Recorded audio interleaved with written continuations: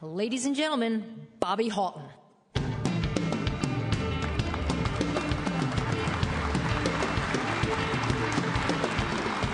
Thank you.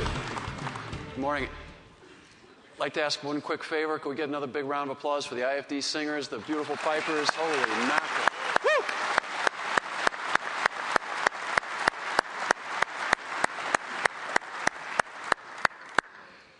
You know, I'd like to do uh, one thing real quick while we're here celebrating FDIC and having uh, a great time. I'd just like to take a moment and remember our good brother Ray Hoff from the Chicago Fire Department. He was an instructor here for many years. He was a tremendous inspiration. He was an incredible firefighter uh, who passed away earlier this week and will be memorialized on Saturday. And our deepest uh, sympathies go out to his brother Bobby and all of his family and, uh, and this family of firefighters. He was a tremendous firefighter and a great guy. Uh, also, I'd like to ask you all to join me in a moment of silence for firefighter Ken Rea and Ray Walter, two of our Canadian brothers who are being laid to rest this morning in Canada. Uh, they passed away in a fire last week.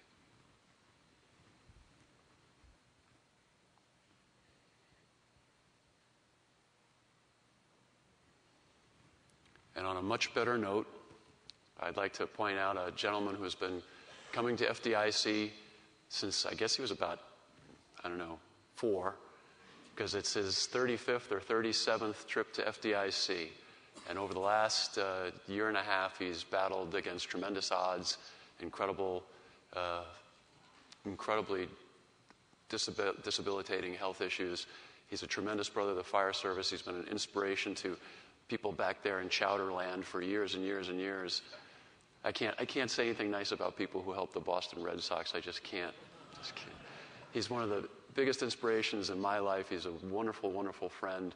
He's done tremendous things for the fire service. He's healthy and he's back with us. And he's here with his best friend, Harry Carter. Jack Peltier, if you'd stand up, please.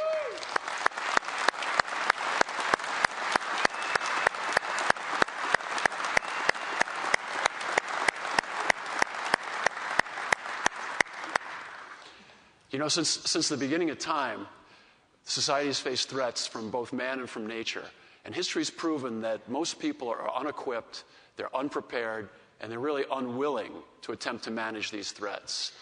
Then there are those who society has chosen to call their bravest. Those that must be ready to respond and deal with the unthinkable, the unpredictable, and the oftentimes tragic.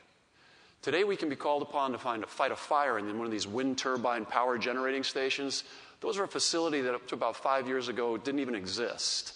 Later that same day, you might fight a fire in a 100 year old house. Today, we're called upon to respond to highly complicated and intricate rail disasters, sometimes involving rail cars that are colliding at over 150 miles an hour. And then, meanwhile, five miles down the road, we manage a simple car accident. We're called to respond to highly complicated offshore drilling operations that have failed catastrophically 3,000 feet below the surface of the ocean while still maintaining a watchful eye over the ships and docks and harbors of our nation's waterways. The simple truth is that these events are but a small part of what it means when technology fails, and technology will fail. When nature strikes, and nature will strike. And when it does, it requires men and women like you to solve it, or at least to mitigate its potential. Whether you're a career or volunteer, whether you're a paid on call or a member of the EMS brigade, you all share a tremendous burden. You all share a tremendous responsibility, not only to those to whom you've sworn to protect, but to those whom you've chosen to train, to those to whom you've chosen to lead. Now, to meet our neighborhood's challenges, you've committed yourselves to developing the next generation of the bravest. How do we do that? What's the key to bravery? And how do you teach somebody to be brave? We know that the answer comes with our obsession with training, in our pursuit of mastery, in our passion for excellence. From our earliest known counterparts, the Vigiles, they were founded in Rome in 08 AD. We can learn a lot. They were armed with only primitive pike poles and axes and ropes, to, and they tore down the adjoining structures in the event of a fire. They didn't try to put them out, just tore them down. We can learn a lot from the first bravest. They were firefighters and they were soldiers. They were Roman legionnaires. They were charged by the Emperor Augustus with watching over the neighborhoods of Rome, therefore, the name Vigiles. It means the watchman. The Roman army and the Vigiles understood teamwork. They developed the deadliest army in the history of the world. Man for man, the Roman legionnaires' kill ratio has never been equaled. They did it by developing highly skilled and highly supervised teams. The Roman legionnaires had a singular, unwavering focus on leadership and teamwork. A Roman officer would stand behind his three men and consistently give one order stab. Stabbing's unnatural to most men. Some of you guys I don't know about, but most men. People by nature slash.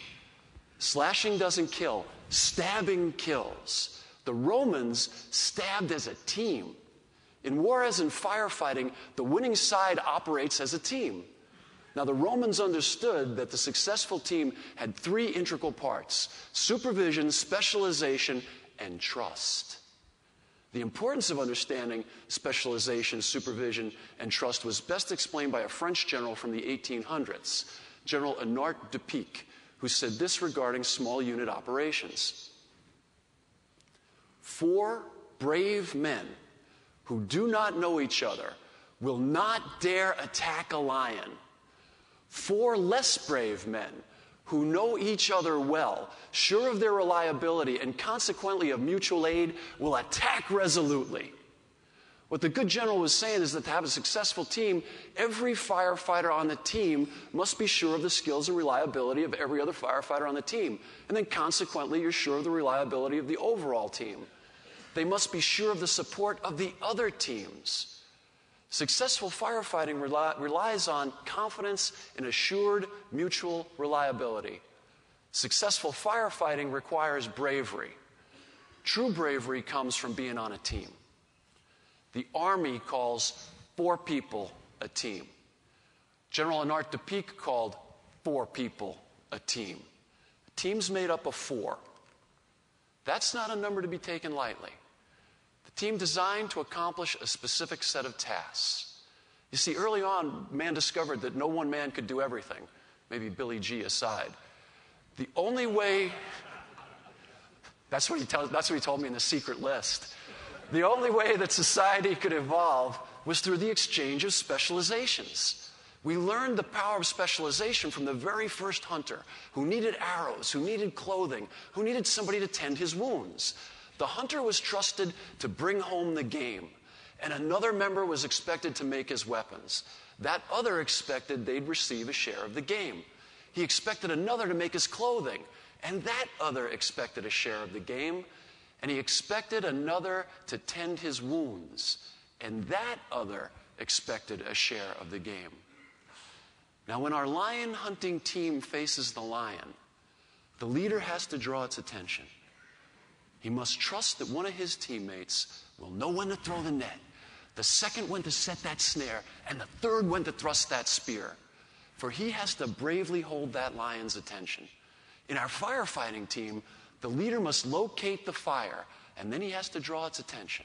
He must trust one of his teammates will know when to ventilate, the second when to secure his egress, and the third when to supply his backup. For he has to attack that fire without doubt and without fear, but made brave by the trust in his teammates and his fellow teams. Through teamwork, trust, and specialization, we become powerful and we become effective. We become brave. When we look at our challenges today, we can see the influence that technology has had on our lifestyles. Each time there are advances in technology, these advances affect our tactics. As we develop pumping capabilities, we left behind the buckets. As we developed motorized apparatus, we left behind the horses.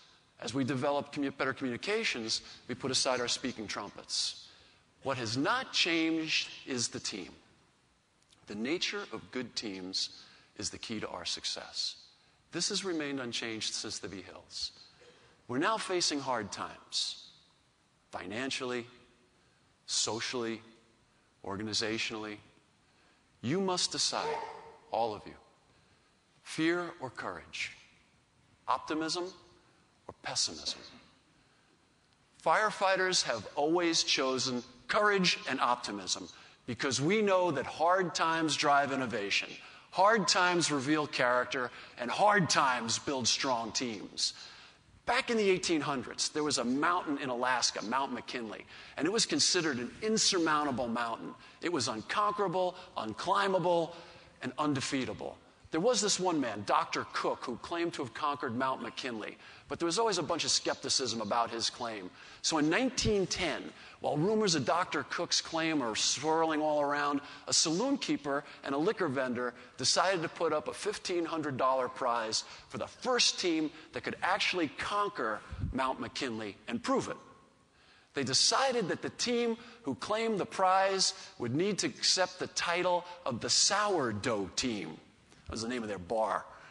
The four men who accepted that challenge, none of them were experienced climbers. They were simply four Alaskan miners. In January of 1910, that team set out. They spent most of February establishing a bunch of camps on the north side of the mountain. They had little equipment. Most of it they actually made themselves, and they had no support except for one another. Now, it's important to know that Mount McKinley has two separate peaks. Its northernmost peak is visible from Fairbanks, and its southernmost peak is visible from Anchorage. Now, as the men struggled against insurmountable odds, they stumbled across a 14 foot pine tree, which they oddly accepted as a symbol of their indomitable spirit. And they tied to the pine tree an American flag. And then they took turns carrying this pine tree along with them on the climb. They climbed climbs that no one would have ever believed that they could have climbed. Yet climb they did. And when they reached the summit, they took that 14 foot pine tree and that American flag and they planted it on the top of Mount McKinley. They descended the mountain and they were met with a completely unreceptive and disbelieving crowd. They were met with complete skepticism, to which they merely said, We planted our flag, we climbed that mountain, and we're the first team to ascend Mount McKinley. Years went by. Nobody believed they were telling the truth. Many years later, a highly organized expedition was put together by some very experienced climbers, accomplished climbers. They had state of the art equipment and they had fantastic support. They were the first persons to set foot atop Mount McKinley's South Peak. But upon reaching the summit, they turned their gaze over to the North Peak, the one that the sourdough boys claimed to have climbed. And directing their binoculars up to the top of that mountain, they saw perched upon a pile of rocks a 14 foot spruce pole with an American flag tied to it. You see, the sourdough team had made it to the top of Mount McKinley many years before without the benefit of experience, equipment, or support. They made it because they were a team. Four men who knew each other well. Those four never fought for their vindication. They didn't care that no one believed that they were telling the truth. Didn't matter to the sourdough team that they were underappreciated and that they were underestimated. No one thought they could conquer Mount McKinley, but they did. And they did it as a team. And no one knows better than you here this morning that four firefighters who know each other well, sure of each other's mutual reliability, and working as a team can conquer any obstacle. So you come here to FDIC to exchange ideas with firefighters whom you trust to learn from the experience of others so you can return home with a new inspired confidence in your own capabilities, in your own knowledge, and that you can go and build confidence in your team. Your work here at FDIC allows us to pass on hard earned knowledge rather than having that knowledge die with the individual who discovered it. Your contribution here at FDIC allows us to specialize, it allows us to create teams, it allows us to be brave. You know that getting our house in order, we must put first things first. And we must focus on the skills of the team. You know it, and you show it by being here at FDIC. You see, ours is a calling that you really don't understand until you try to teach it. You come here driven by your pursuit of perfection in all you do, especially in training. You want to be perfect because you all know that in our work, good enough isn't. By being here, you're demonstrating your commitment to lasting solutions that can only be accomplished by impassioned training. Training that must improve our skills, our confidence, and therefore increase our trust in one another. Therefore, improving the reliability of our team. Our training must give us that unshakable belief that we are reliable, that we are competent, that we are dependable. Our efforts must be equal to the problems that our neighborhoods are going to face. So I'll leave you with this final thought.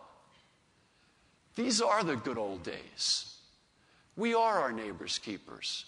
You men and women here today have accepted the responsibility to train the next Vigiles. You're confident that our best days are ahead of us, and you're confident in your ability to make a difference.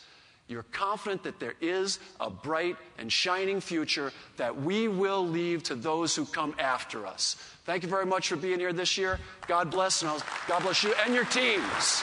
Thank you.